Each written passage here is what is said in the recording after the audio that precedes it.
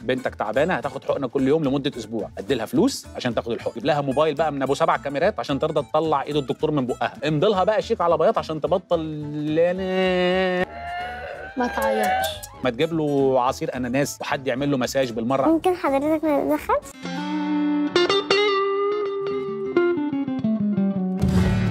هذا البرنامج برعاية.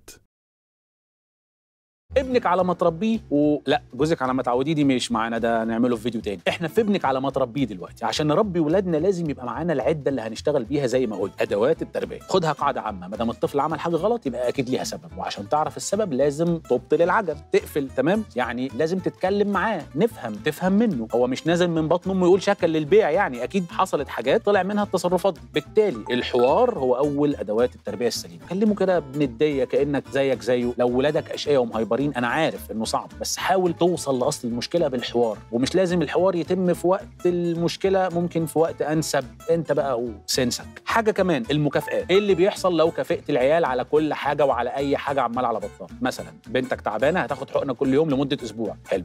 ادي لها فلوس عشان تاخد الحقنة. خدت الحقنة خلاص. حلو. جيب لها موبايل بقى من أبو سبع كاميرات عشان ترضى تطلع إيد الدكتور من بقها. أفرجت عن إيد الدكتور خلاص ورجعتها له. امضي لها بقى شيك على بياض عشان تبطل الزن دي. كده ما بقتش مكافاه كده بقت رشاوي. ما تستسلمش للزن ابدا وتهين قرشك أسهل. لا الطريقة دي غلط. لو في حاجة هنطلع بيها من أدوات التربية الحديثة فلازم نلغي ال naughty corner ده خالص. يعني إيه عقاب ابني إنه يقعد على ال Lazy Boy لحد ما يعرف غلطه؟ ما تجيب له عصير أناناس وحد يعمل له مساج بالمرة عشان يعرف غلطه؟ ما ده أنا احب اعرف غلطه ما عمره ما هيعرف. المفروض بدل العقاب ما يبقى انه قاعد في اوضه بعيد لوحده من غير ما يفهم ولا يحس اننا جنبه اللي هو بنسميه time out لا تعالى لي أنا بقى خليه time in اقعد هنا تعالى نفهم السبب. شوف إيه سبب اللي انت عملته. تعلمه بالمرة إزاي يتعامل مع مشاكله والاهم إزاي يتعامل مع مشاعره. معايشة المواقف أداة تربية بتجيب من الآخر. إنك تعمل مواقف عشان تعلم ابنك حاجة أو تجاوبه على سؤال كان عنده. زي مثلا ما بنعمل ساعات إيه باللعب كده. نعمل إن إحنا عند الدكتور أو هنقابل حد لأول مرة يلا تعالى نمثلها مع بعض. طب أنا الضيف وانت اللي جاي. ممكن كمان لو ابنك مثلا مش عاجبه إنك بتروح الشغل وشايفها حاجة ملهاش لازمة خليه يجرب. لو بابا وماما ما بيشتغلوش روحوا مرة السوبر ماركت مثلا وخليه يختار كل اللي نفسه فيه ويروح عند الكاشير من غير فلوس. ساعتها طبعا الابن هيعرف ليه شغل بابا وماما مهم.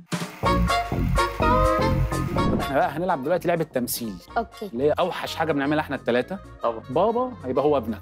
أه. وأنت هتبقى بابا. وهيحصل إيه؟ إن هي دلوقتي في المحل عايزة تشتري لعبة ومصممة على اللعبة دي وبتزن عليها. okay آه okay أنا عايز أجيب ال PlayStation مش هينفع. أنا عايزه دي. تصرف بقى. بابا بابا بابا أنا عايز اللعبة دي. عندنا واحدة زيها في البيت. لا بس التانية pink دي silver المرة الجاية. ليه مش تجيب لي دي. سمحت يا أستاذ عشان ده الكاشير ففي زباين ورانا. لو هتكلم ابن حضرتك. بابا لو سمحت عايز أنا عايز. فلوس. لا ما معليش دعوة أنا عايز اللعبة دي. اتكلمي عدل مع مامتك. ليه. بقى؟ أنا ما شفتش طفل بيتصرف كده ابدا. أنا آسف. ربي ربي. ما تعيطش. اشمعنى اشمعنى أختي بتجيب لها كل حاجة؟ طب هي بتعمل معاك إيه بقى لما بتبقى مش عايزة تشتري؟ لا يعني لا يا اياد طيب نلعب حاجة تانية. أهلا أهلا أهلا أهلا. إزاي؟ حبيبي إزاي. شوف ما شاء الله بص كبر جدا إزاي؟ إيه ده وحش قوي يا. لا لا لا لا, أنا أنا آسف جدا. لا مش عايز تشوف المنظر ده. ما ينفعش كده. كلي كلي ما ينفعش ما ينفعش. إيه الإحراج ده؟ عن إذنكم أنا أخش أعيط في البلكونة. أنا عايز عايز أجيب أكل من بره. ما ينفعش. لو عاوز يعمل بيبي هنا بره في الجنينة. بص بابي قول له قول له إن إحنا هنروح باي ونجيب ساندوتشات. طب نقلي بيض. آه، أنا أصلا عندي مغص. طب أنا لأ أنا عامل بقى أكل مخصوص للمغص. عامل كيكة أعشاب. لا لا لا لا لا خلاص على الجنينة بقى. بابا أنا مش هعمل الهوم ورك النهارده. ليه؟ عشان صباعي وجعني. انت اعمليه دلوقتي علشان لما تخلصيه تقعدي بالليل تتفرجي على التلفزيون براحتك. طب بس خلاص؟ هو المسلسل شغال دلوقتي دلوقتي لو ما لحقتوش مش هعرف اتفرج عليه هيمشي. كلام حضرتك نعم بصراحة. ممكن حضرتك ما تدخلش أنا آسف طبعا أنا آسف جدا. اتفضلي أنا آسف. هسكت خالص. معلش يا فندم أنا آسف. أنا بقص الزرع فسمعت الكلام. والله أنا مش قصدي حاجة أنا جاركم هنا في الشاليه اللي وراكم. إيه اللي حصل؟ أنا شطت الكوره بجوز الجزمة كسرت ال- الإزاز بس أنا ما كنتش اقف لا حضرتك مش عارف تربي. طب- دي موضوع تاني. طب أنا عايز ماليش لا من غير قصده. اتاسف له تعالى اتاسف له سوري. أنا مش مشكلتي في الفلوس. لا أنا اتعامل حلو. مش هخليك تاكل الكيكة بتاعتك اللي أنت ما كملتهاش في البيت. مش معقول. يا ام مرفق sorry. يا فندم ده قرف على فكرة. حضرتك اللي هو بيعمله ده مش ما توصلش لده. يعني عادي. عايزه يعني عايزه يعمل إيه؟ طلعوش عينين الواد بقى باسك. يعني عايزه يعمل لك إيه؟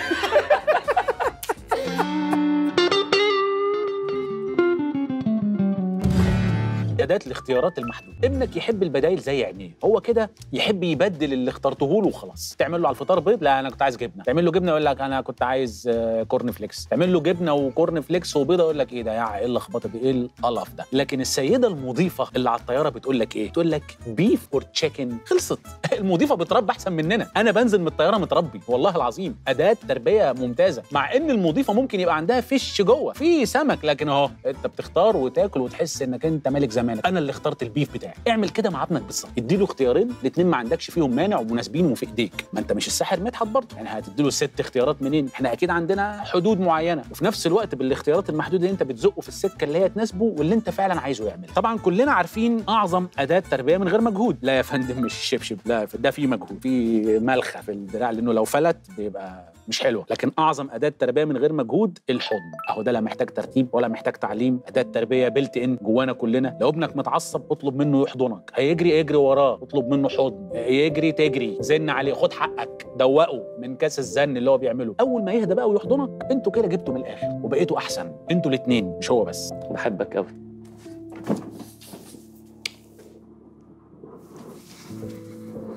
انت عارفه إن أنا بحبك قوي أديك خلاص. حبيبتي أنا كمان بحبك أوي أوي أوي أوي قد الدنيا. أنت أغلى حاجة في الدنيا. تسرقنا